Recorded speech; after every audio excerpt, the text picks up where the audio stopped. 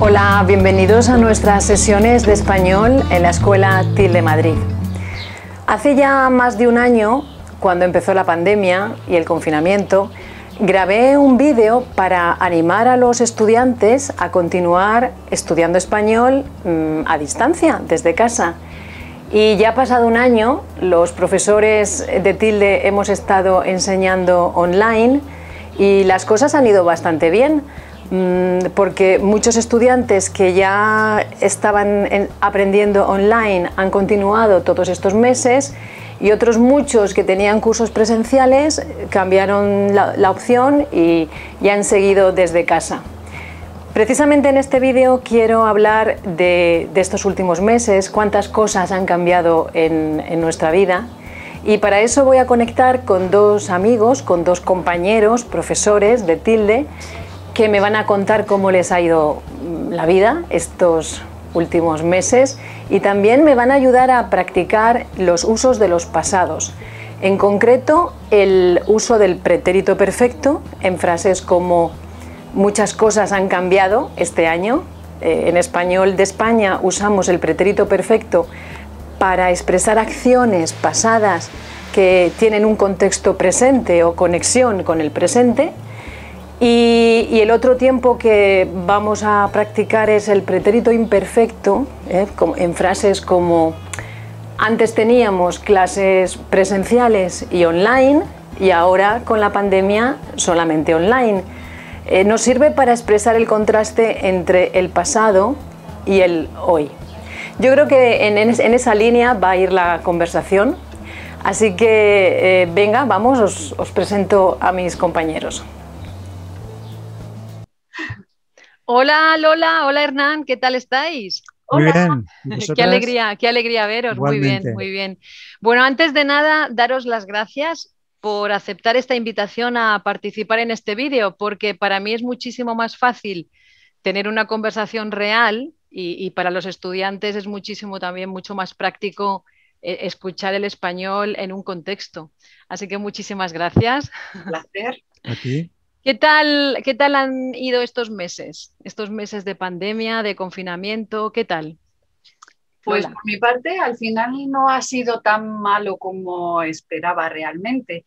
Eh, me he adaptado bien a la situación nueva y... Bien, ¿y, tú Hernán también? Sí, ha sido duro para todos el eh, confinamiento y las restricciones. Pero al fin, pues eh, las cosas han continuado con bastante normalidad y la vida, pues gracias a Dios, ha continuado con, bastante normalidad. Bastante... Eh, en el, en el plano... Que echamos de menos algunas cosas que hacíamos antes y ahora no. Eso es verdad. Todo ha sido adaptación y bueno. De eso vamos a hablar ahora. Por ejemplo, en el plano de, la enseñanza, de, de las clases de español, que ahora solamente trabajamos online, eh, ¿cómo, lo, ¿Cómo lo habéis llevado? Lola, ¿para ti ha sido muy diferente? La verdad es que no he notado gran diferencia exactamente en este punto porque ya dábamos clases por Skype principalmente, sabíamos cómo funcionaba, teníamos experiencia y ha sido continuar la actividad en casa. Eh, sí, eh, bueno, la diferencia es sobre todo pues la falta del aspecto social o del contacto personal. Eh, pero bueno, en cuanto a las clases, como dice Lola, ya dábamos algunos alumnos de larga duración vía Skype o incluso en, la escuela, de forma que nos hemos adaptado bien pedagógicamente con, con ayuda de, los medios. Y la, diferencia, claro, esta es la parte social, el contacto personal. Bueno, si os habéis dado cuenta, mm, ahora eh, ha cambiado el perfil del estudiante. Eh, eh, aunque digáis que sí, antes teníamos clases online y hemos seguido, pero mm, es verdad que antes también teníamos cursos presenciales donde eh, la gente venía a la escuela para estudiar de forma intensiva, eh, los cursos eran más cortos y ahora casi todos, todos nuestros estudiantes, se puede decir, estudian de forma extensiva, los cursos son menos intensivos, pero están muchísimo más tiempo. Yo no sé si, si esto os ha influido a la hora de organizar las clases, la dinámica de las clases? ¿Esto influye el formato de los cursos? Realmente los contenidos no son diferentes. Obviamente la forma de dar la clase no es exactamente igual, pero tampoco es, eh, hay una enorme diferencia si no son grupos. Lo que pasa que la parte de socialización, esa sí que se echa de menos y se ha perdido. Eh, antes, por ejemplo, comenzábamos el día comentando las noticias del día y tomando un café, charlábamos con la secretaria, con los compañeros, con otros estudiantes y eso ahora no lo tenemos, ¿no? Bueno, hemos... Enseñar? Perdona Lola, no, como has hablado de la prensa, quería comentar que hemos intentado mantener el, café y prensa sin café, la prensa online, que bueno, ha funcionado bastante bien, pero efectivamente no es lo mismo, no es lo mismo el, calor humano, eh, y al igual que las aulas de cultura, que el programa cultural, que eh, con la escuela hacíamos los paseos culturales y ahora online pues son unas aulas, aprendemos mucho, pero falta el contacto, falta lo que es la inmersión. Pero hemos descubierto, por ejemplo, en, el aula de prensa, que realmente sí que se puede hacer también en grupo, online, todos juntos, y es muy divertido realmente. Sí, y las sesiones de cultura creo que también... Eh, son muy interesantes. Casi como si estuvieran en el museo, ¿no? Con los medios audiovisuales. Sí, eh, el, enfoque es un poquito diferente, pues falta lo que es el, paseo por las ciudades, el, oler, el, el oler el ambiente, escuchar a la gente, claro, eso falta, por supuesto. Pero bueno, yo creo que nos hemos defendido bastante bien con las... El enfoque de Madrid se ha ampliado a toda España porque ahora no tienes que pasear por la ciudad, mm, se pasea de otra manera y ha abierto mucho. Sí, las aulas culturales se han abierto a, otras opciones, a otras ciudades, a la historia, a la arquitectura, sí, sí, al mm. arte, por supuesto. Eh, y, en, y en relación a la forma de vida, o sea, esta forma de trabajar en casa, ¿Ha cambiado mucho vuestros horarios, vuestra actividad física? ¿Salís más, salís menos? Eh, ¿Habéis engordado? ¿Habéis adelgazado? Lola, ¿tú? Eh, pues por mi parte, lo mejor es que ahora tengo más tiempo para hacer lo que más me gusta, que es crear material para los estudiantes. En ese sentido, fenomenal no perder tantas horas de transporte. Y... Es verdad, hay que decir que Lola tiene un libro de esquemas gramaticales, en concreto, que se llama La gramática Lola, que nos es, un libro de esquemas muy útiles para profes y, estudiantes y nos sirve como de referencia para nuestras clases de español. Además, te gusta hacer esquemitas, ¿no? Eh, infografías. Sí, ejercicios para practicarlo y no solo para ayudar a los estudiantes, también para ayudar a los profesores que a veces necesitamos un poquito más de material y más ahora que que tenemos que enviarlo todo de manera digital, ¿no? Claro, claro.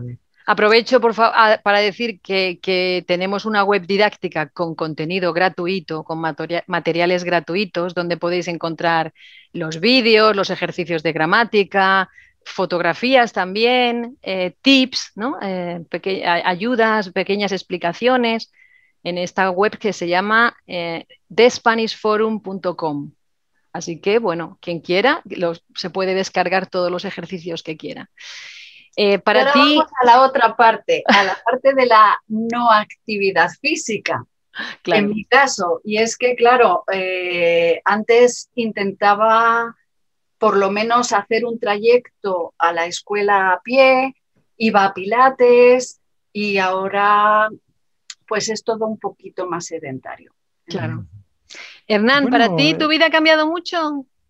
Ha cambiado. Eh, trabajar en casa es en principio más cómodo. Como dice Lola, se ahorra mucho tiempo, se ahorran viajes, se ahorra el tener que prepararte, salir, madrugar. Puedes estar en tu propia casa muy cómodo. Por otro lado, también necesitas eh, disciplina eh, y cumplir los horarios sin, digamos, un poco autónomamente. Pero luego, por otro lado, realmente mi vida no ha cambiado tanto en cuanto, por ejemplo, al ejercicio físico. Pues yo es una afición mía muy, en fin, la afición física más importante que tengo, que es dar paseos en bicicleta, la sigo manteniendo. Voy sobre todo, voy una o dos veces eh, por semana, sobre todo a la zona de Madrid-Río y Casa de Campo, que son zonas naturales pues, muy, muy bonitas y concurridas. Y, esto lo he seguido haciendo, he podido hacerlo durante toda la pandemia, menos eh, la primera época más dura.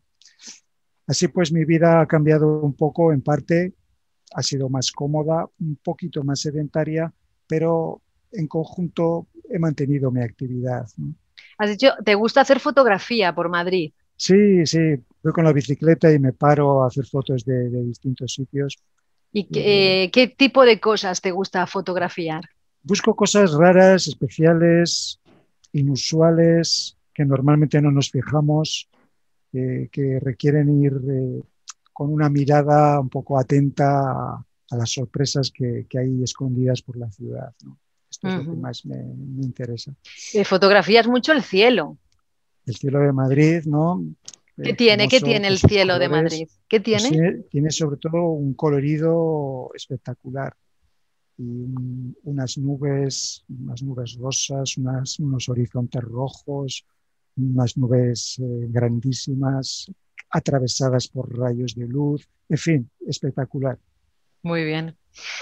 Bueno, ¿y cómo veis el futuro? Eh, ¿Seguiremos online? Yo es que realmente echo de menos el, contacto de la escuela, el contacto humano entre los profesores, los estudiantes, los paseos culturales, como hemos dicho antes, el café y prensa. Eh, ¿Cómo veis el futuro eh, de la enseñanza del español y, bueno, y de, sí, sí, de la forma de viajar, de aprender, de, bueno, eh, ¿seguiremos como hasta ahora o, volveremos a la normalidad? Pues yo creo que ni volveremos a la normalidad total ni, nos quedaremos como estamos, sino que se hará un, un, reequilibrio, un equilibrio entre las dos, las dos partes. Es decir, aquellos que seguiremos viajando, seguiremos disfrutando en persona de las ciudades, sumergiéndonos en la cultura, etcétera, y por lo tanto habrá alumnos que vengan a Madrid, que, con los que habrá clases presenciales como antes. Sin embargo, también eh, durante este tiempo la enseñanza online se ha desarrollado mucho y sin duda continuaremos con, las clases eh, por Skype que son muy convenientes para las personas que no pueden desplazarse y funcionan muy bien. Bueno, por Skype, por Zoom, o es, lo que usamos principalmente, pero a distancia. ¿Qué piensas tú, Lola? Yo también, y creo que ya volverá pronto, ya tiene que volver pronto la vuelta al contacto físico, a, la antigua normalidad. Es verdad. nunca será. Pero al mismo tiempo que volveremos a tener clases presenciales, estoy segura de que las clases a distancia se van a, mantener y además se van a ampliar, porque para nosotros quizás no tanto, pero para mucha gente ha sido un descubrimiento. Sí. Pronto han visto que pueden estar aprendiendo español tocando un poquito Madrid sin estar allí, tocando esta cultura y creo que eso está creciendo ya para, nunca va a ir hacia atrás, va a ir siempre hacia adelante. Es verdad que hay gente que no confiaba en, las clases a distancia. Pensaban que no, o que no eran capaces de aprender, o que es que no es lo mismo, siempre no es lo mismo. Efectivamente, no es lo mismo, pero funcionan muy bien y se puede aprender, se puede mantener el contacto con, sí, con otra cultura, con otra gente y, se pueden hacer grandes amigos por, a distancia. Sí, sí. Así está claro que la enseñanza online ha, llegado para quedarse. Sí, sí, sí. Bueno, no sé si hemos hablado mucho en pasado en este vídeo que era el objetivo, pero, pero da igual. Yo creo Pregúntanos lo que quieras. bueno, en general muchas cosas han cambiado, ¿no? Hemos dicho en pretérito perfecto, hemos usado mucho que hay que comer, hay que, ya lo dije en la entradilla, pero lo repito, que el pretérito perfecto es un tiempo que se usa principalmente en España, en el español de España. Yo no sé si en Latinoamérica lo usan tanto como aquí para expresar estas acciones pasadas que, en un contexto temporal todavía presente. Aquí en España lo usamos eh, mucho. Y luego el, uso del imperfecto, antes teníamos, ahora tenemos, pero bueno, en cualquier caso, ha sido un placer hablar con vosotros. ¿eh? Y... Para nosotros también, porque estamos de menos un poco esto. fijaos que simplemente el conectar y ver las imágenes ya es diferente que hablar por WhatsApp o por correo electrónico. Es como, ya es como estar más cerca, ¿no? Por cierto, Lola, ¿qué eh, ¿dónde estás? ¿Qué, eh, eh, explícanos dónde estás, qué tienes detrás tan bonito. Yo estoy en Madrid. A veces me voy a las montañas, porque claro, más de un año viendo mis cuadros de siempre ya no podía más. Entonces, a veces me voy a las montañas y esto en particular es un, es el Palacio Real, eh, la Catedral, el San Francisco el Grande. Es un punto de vista del palacio que no es tan frecuente desde el otro lado, desde prácticamente la casa de campo, y el cielo de Madrid que tanto le gusta.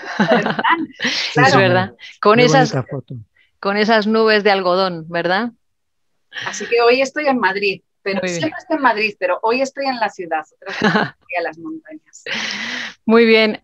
Bueno, chicos, muchísimas gracias por colaborar en este vídeo. Me ha encantado veros, como os he dicho. Y, nada, tenemos que quedar pronto y, también vernos pronto en la escuela. ¿Vale? Muy bien, muchas gracias a ti. Muchísimas gracias. Hasta luego. Adiós. Chao. Bueno, ha sido un gustazo hablar con ellos, eh, con Lola y Hernán, un gustazo, eh, es una expresión coloquial, un, placer hablar con ellos. Yo espero que pronto volvamos a, las clases presenciales, a vernos a, diario y al contacto humano. Eh, también a vosotros os animo a comentar qué cosas han cambiado, qué cosas buenas han pasado estos años, estos meses, perdón, y, también qué cosas malas. Espero que las cosas buenas continúen en la nueva normalidad, como decimos aquí en España, la nueva normalidad. Y, nada más. Eh, recordaros que si necesitáis ayuda con vuestro español, no dudéis en escribirnos a info.tildemadrid.com. Muchas gracias por vuestra atención y como siempre nos vemos en la próxima sesión. Hasta pronto. Adiós.